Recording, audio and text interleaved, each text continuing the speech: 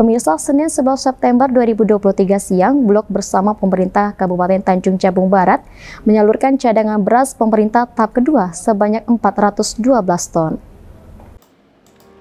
Di tengah mahalnya harga beras saat ini, penyaluran cadangan beras pemerintah tahap kedua sangat dinanti, terutama bagi warga yang kurang mampu, seperti halnya bagi penerima keluarga manfaat.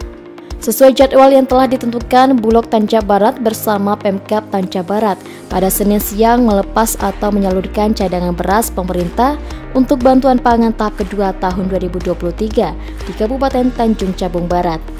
Bulog sebagai leading utama dalam penyaluran cadangan beras pemerintah untuk bantuan pangan tahap kedua.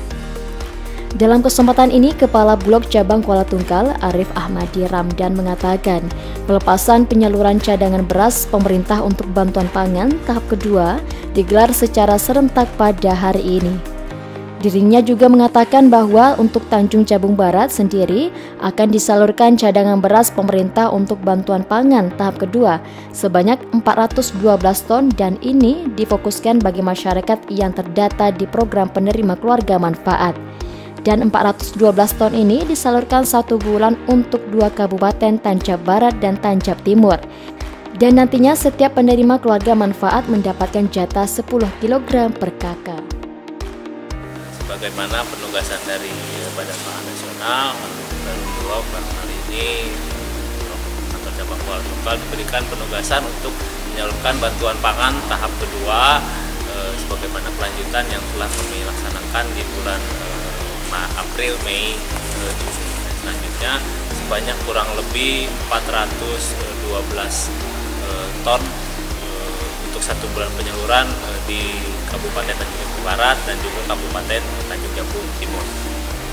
Nah, mungkin untuk penerima sendiri berapa bang di satu orang berapa ini beras? Untuk penerima e, beras ini satu keluarga manfaat memperoleh beras e, sebanyak 10 kg satu bulan alokasi penyaluran dan untuk tiga bulan dikali tiga sehingga satu keluarganya memperoleh kurang lebih 30 kg beras.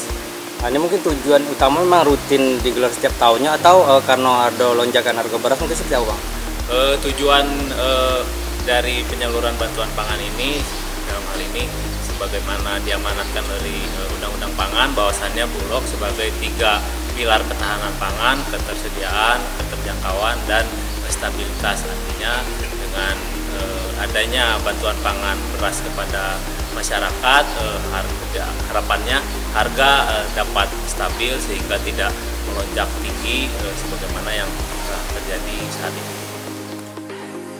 Sementara itu, Bupati Tancap Barat Anwar Sadat sangat menyambut baik atas pelepasan penyaluran cadangan beras pemerintah untuk bantuan pangan tahap kedua tahun 2023 di Kabupaten Tanjung Jabung Barat dan masyarakat yang masuk dalam program penerima keluarga manfaat atau PKM ini nantinya dipastikan dapat menikmati beras tersebut.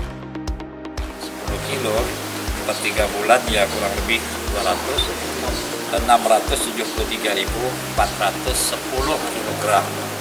Nah ini kita salurkan ke masyarakat secara langsung uh, lewat bulog uh, demi cadangan pangan kita di Kabupaten Tanjung Barat. Nah mudah-mudahan ini uh, penyaluran tahap kedua ini uh, bisa tepat sasaran dan uh, langsung ya diterima oleh penerima manfaat dan tidak kita launching secara simbolis dengan penerima manfaat yang ada di kota Kuala Tunggalnya dan nanti kita sebarkan di seluruh kecamatan yang ada di provinsi Jambi. Nah mudah-mudahan eh, di Tanjung Jabung Barat ini. Nah mudah-mudahan eh, penyaluran beras tahap kedua ini dapat membantu dan meringankan penerima manfaat ya dan e, kita selalu e, memprioritaskan ini sehingga kalau nanti sekiranya ada kenaikan harga beras dan sebagainya kita alhamdulillah penerima manfaat dapat e, apa Surya Kurniawan, Cek TV melaporkan.